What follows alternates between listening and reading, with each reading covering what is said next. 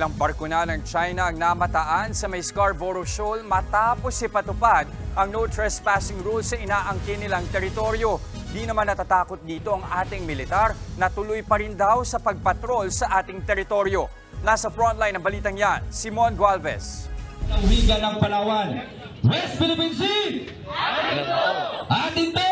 West Philippine Sea.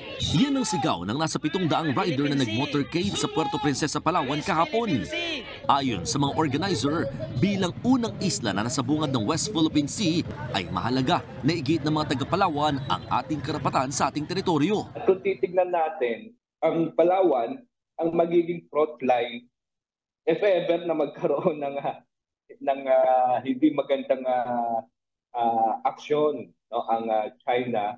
So dapat mas aware at knowledgeable ang lalawigan ng Palawan, most of all ang mga Palaweños.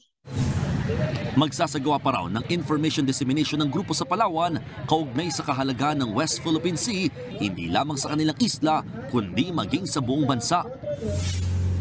Ang aktibidad ng grupo ay kasunod ng pagpapatupad ng China ng no trespassing rule. Namataan pang nakapwesto ang ilang barko ng China Coast Guard sa Wangyandao sa South China Sea, nakilala rin sa tawag na Scarborough Shoal o Baho de Masinloc. Sa ipinatutupad na utos, huhulihin na ng China ang mga dayuhang trespassers sa mga teritoryo umano nila. Ikukulong ang mga mahuhuli ng hanggang anim na pong araw ng walang paglilitis. Kinundin na ito ng ilang mambabatas. Ayon kay Surigao del Norte Representative Robert Ace Barbers, dapat naarestuin din ng Pilipinas sa mga Chinese na pumapasok sa ating exclusive economic zone.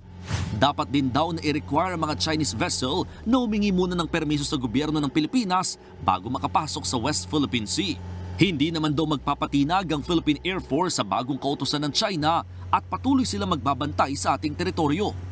our land guarding and protecting our airspace to include our territorial waters and our exclusive economic zones. So magpapatuloy po ang pagpapatrolya ng ating Philippine Air Force pag kinakailangan po ng ating mga force employers. Una na rin kinundina ni Pangulong Bongbong Marcos ang utos na ito ng China. Nagbabala rin siya kamakailan na ituturing na act of war sakaling may mamatay na Pinoy sa gitna ng tensyon sa West Philippine Sea. Samantala, kinundin na rin ng Group of Seven ang mga pangaharas ng China sa mga barko ng Pilipinas. Ayon sa G7, nababahala pa rin sila sa sitwasyon sa East at South China Sea. Kontra raw sila sa anumang unilateral attempt para baguhin ang sitwasyon sa rehiyon gamit ang dahas. Nagbabalita mula sa frontline, Mon Gualvez, News 5.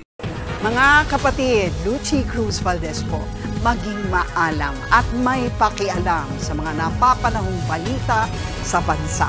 Tumutok at mag-subscribe sa News 5 social media pages.